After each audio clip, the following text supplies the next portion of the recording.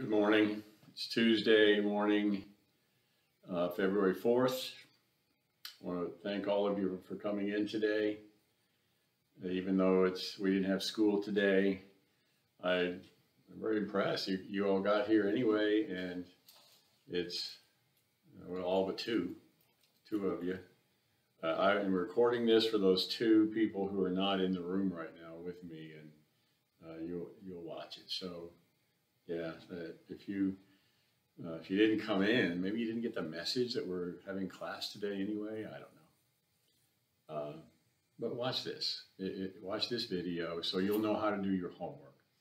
Let me repeat what I put in an email that your homework is uh, the take-home quiz, of course, but also assignments A and B from chapter 16.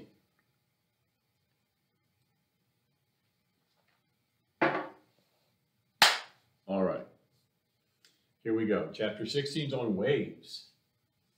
Uh, Kaylee, where's my marker? Ah, here it is.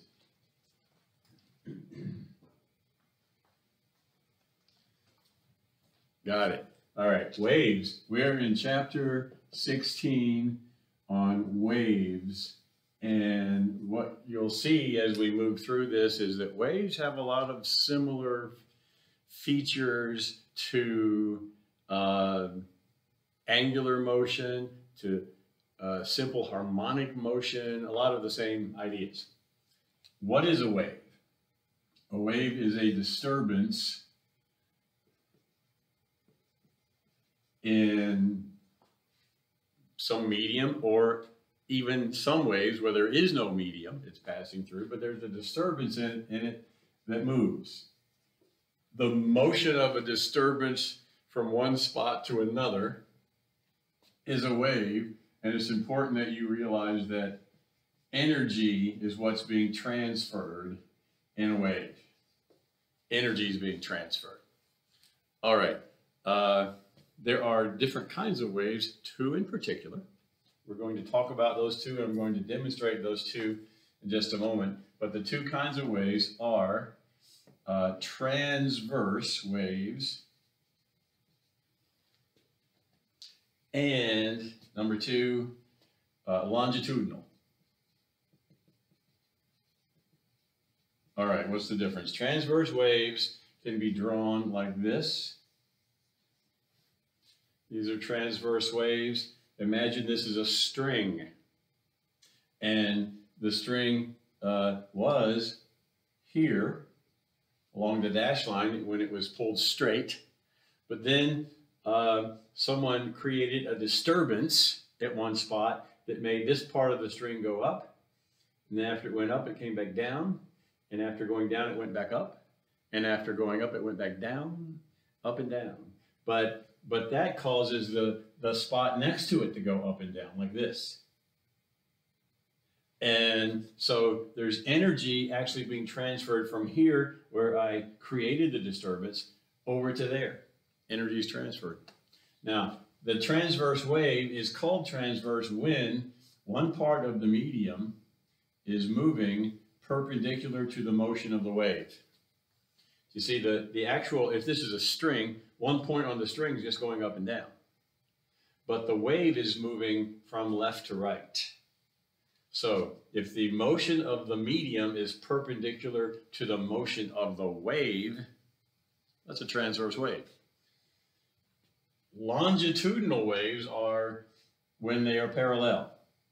If whatever the medium is scrunches up right here, it squeezes together, it compresses, and that area of, of compression moves to the right uh, maybe over uh, uh, right next to this area of compression is an area where it, the, the particles are not squeezed together. We call that rarefaction. But over here is another compression. Here's another rarefaction. Here's a compression. Here's a rarefaction. That's a longitudinal wave. And you see the particles now are moving left and right. The particle is going like this.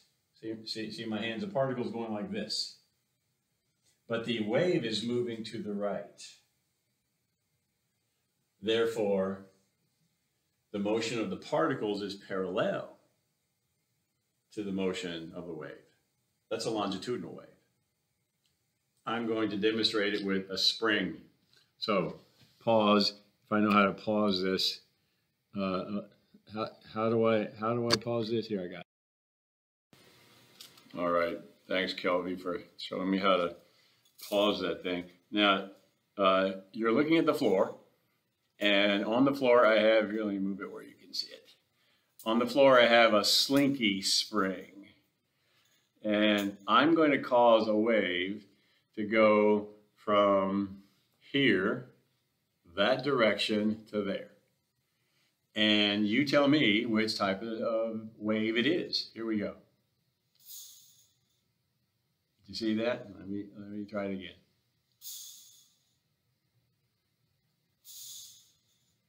There's a wave moving from this hand to this hand.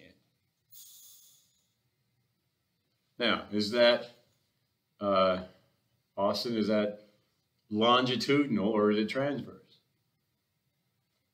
Right, it's it's transverse because the the particle, one coil of the spring is going up and down, or in, in this direction, whereas the wave moved that direction.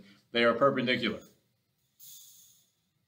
See, as the wave moves this way, one particular coil just goes this way and that way, and that's it but the wave was moving perpendicular to that motion. Transverse wave. Now, here's another kind of wave. Tell me what this is. Uh-huh. Uh, that's a meaningless bell. Ignore that. Yeah. Yuhan, what is that? Come on, Yuhan. You, tell me. No, in English. Right. That is a longitudinal wave. Very good. Uh, because one particular coil of the spring moved this way and back as the wave moved through it, this way and back. But the wave was also moving that direction. They're parallel. All right, pause again. Austin, how do I pause this now? Is it this button or this one? All right, here we are. We're back. Those are the two kinds of waves, transverse, longitudinal. Sometimes longitudinal waves are called compressional waves because the particles compress and then move apart. Yeah. Hey, which one of these do you think sound waves are? Do sound waves move like this, transverse, or do they move like this, longitudinal? Well, the word compressional may have given it away because sound waves are compressional waves. Uh, sound waves are longitudinal. Yeah, they are. They require the medium to, to compress. In uh, most cases, that's air, molecules that compress together. And then that area of compression moves throughout the room, and all of you in the room hear my voice. Yeah, okay, let's move on. What is it about a wave you can measure? All right, what is it about a wave you can measure? What do you think, Nate? The, name one thing you could. Yeah, you could, yeah, exactly. You can, here, let me draw this wave so we can point to it. There's a transverse wave. This, again, this dashed line represents the equilibrium position. That's where it was before the wave moved through the medium. And so as the wave moved through, the medium moved up and down. This, this part up here is called a crest. This part down here would be called the trough. Uh, the crest is up high, the trough is down low. So, right, Nate, one thing you could measure is the distance from one crest to another crest, and we would call that the wavelength. Wavelength is exactly what it sounds like it is. It's the length of a wave. You'd measure it in meters, SI unit, meters. Uh, uh, the symbol for wavelength is the Greek letter lambda. Lambda. You know, Kaylee, lambda? Uh, have you, Natalie, do you know the Greek letters? Of course, yes. What is this one? Right, lambda. Okay, lambda in physics, or at least in wave physics, stands for wavelength. We will use that symbol uh, for wavelength. It's the, it's the distance between two corresponding parts of a wave, like between two crests. That would also be between two troughs. It would be between this point and this point. Uh, so two, two uh, corresponding points on two consecutive waves. That distance is the wavelength, measured in meters. All right, so that's one thing you can measure, yeah, the wavelength. What else could you measure about waves? What do you think, Jaden?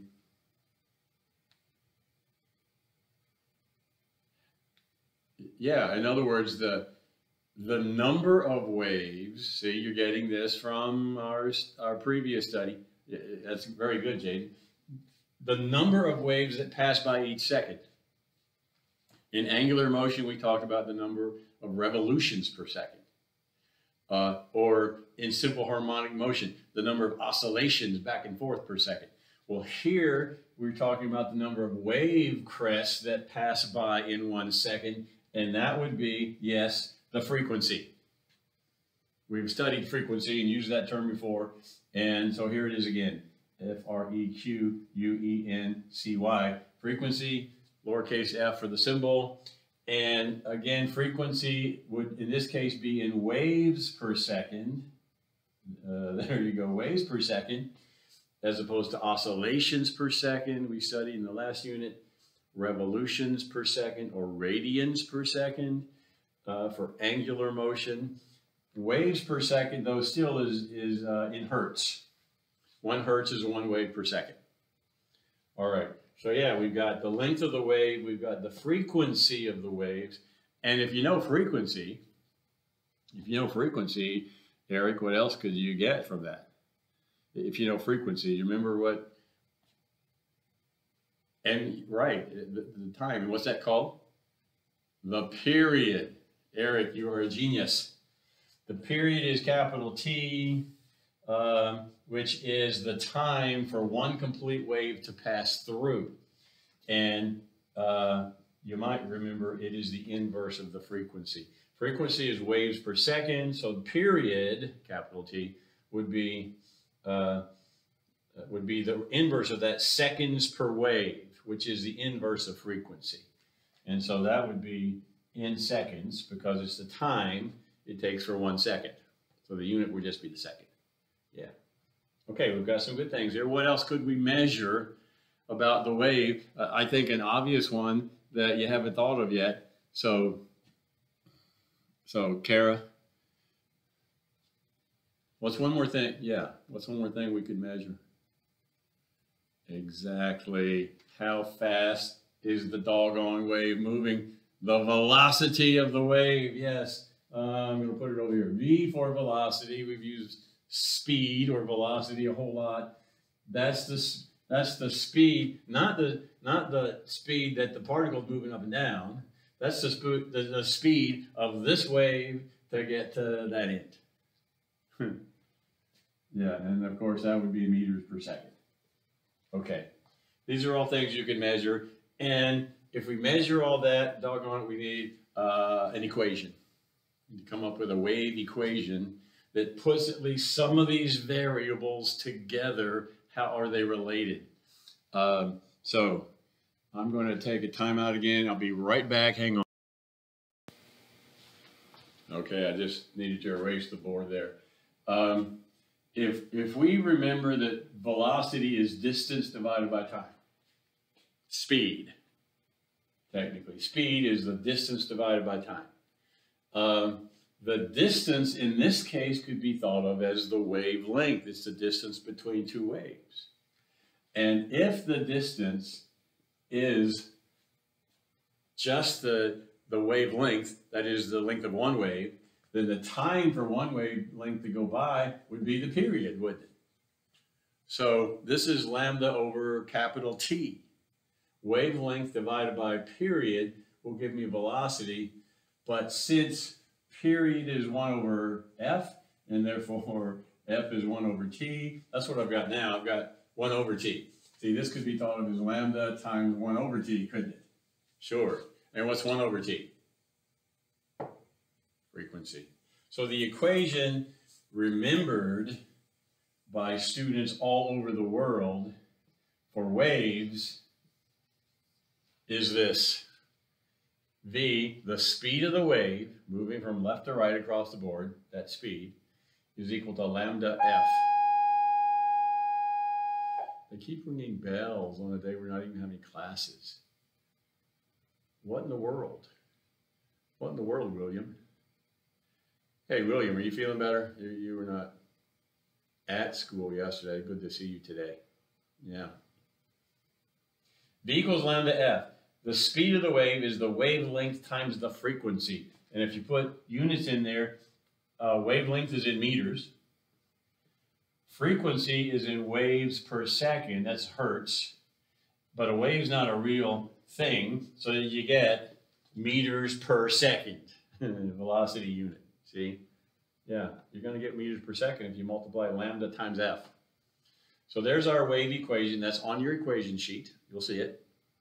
V equals lambda f. Um, now we need to talk briefly about what depends on what. And then I'll be about through for today. You all can go back home and finish out your day off. Again, thanks for being here. All right. Um, the frequency you need to know depends on the source of the waves. Now, the source of a wave is some vibration at the beginning of the wave. Uh, All right, if you can't read that because it's small, I don't know if you can read that or not. Source of the wave, vibration. If I go back to this string analogy, if I take the string and pluck it right here, like a guitar string, pluck, it makes this part of the of the string go up and down. Well, that that disturbance is going to be moved throughout throughout the string, and so the source was me with my pluck, my vibration that started the whole thing. Okay, so uh, the frequency just depends on that. It depends on how often I'm plucking it. If I just plug it once, it just moves one time. But if I keep if I keep pulling it up and pulling it up at a, at a regular rhythm, what's the frequency of my vibrations? Well, that's going to be the frequency of the waves, no matter what they go through. V depends on the medium it's passing through. So if a wave is going through one medium and then it enters a different medium, maybe it's a boundary where it goes from, from uh, one thing to another. And we'll look at more examples of that later. But if it changes medium, it'll change speed. However, it doesn't change frequency. Frequency just depends on the source back at the beginning. So lambda then is the true variable. Lambda is the variable that depends on V and F. F depends on the source. V depends on what it's passing through, the medium. Lambda depends on those two things. So if I change the vibrations at the source, that'll change F, but that won't change V, as long as it's the same medium. But if I change F, it'll change lambda. Because lambda will change with either one. Lambda depends on F, and lambda depends on V. Yeah, that's great. All right, I think I taught you most of what I need to teach you, but hang on, I'm going to check. I'll be right back. All right, there is one more thing I need to mention. And Reed, I think I heard you saying this earlier when asked, what can you measure? And you said it, and I wasn't really ignoring you, Reed. It's just where I was going to go. But the amplitude, and we talked about amplitude recently with simple harmonic motion, the maximum displacement is the amplitude, uh, capital A for amplitude. In the case of waves, it still means maximum displacement. That's exactly right, Reed. That's what you said, which means if here, here are my transverse waves again, here's where the, the, the medium would have been with no waves. The maximum displacement comes right in the middle of, of where, the, where the crest is, is this distance right here. This is the equilibrium position. That's the farthest the medium ever gets from equilibrium.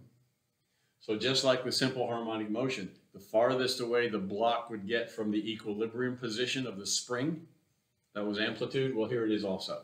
The farthest away this medium gets from the equilibrium position, that's the amplitude. So if, if you could measure this distance right here, that's A, capital A.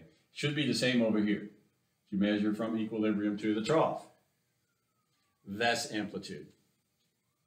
Okay, so good job there. Junha, nice to see you. You've been sick forever, please. I hope you're well. You came today, so I'm very proud of you. Hope you're feeling better. Brianna,